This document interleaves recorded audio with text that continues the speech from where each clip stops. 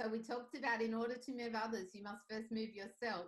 As you're moving yourself, that means you're you're seeing evidence of financial growth.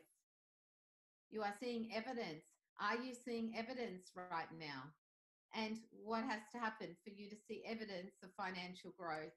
Because you might be moving yourself emotionally, which aligns, and moving yourself spiritually.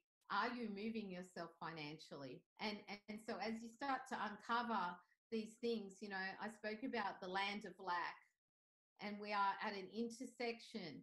And this is where, you know, we are. We are at a kairos moment in time. You may not be in fear or doubt or procrastination.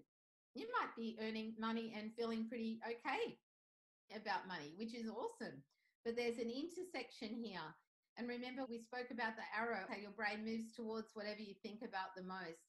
So when you are intentional you know this is this is where you're honoring yourself and you're honoring not just the destiny but the inheritance that is on your life.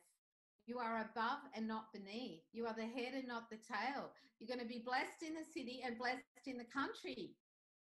Do we believe these things? And so as you see yourself at this intersection here this is the opportunity now to turn your back and turn towards and not even recognize yourself in six months' time for what you believe about money and your actions, the evidence around money. Because sometimes we kid ourselves a little bit. We go, Well, I'm learning and I'm doing all this work.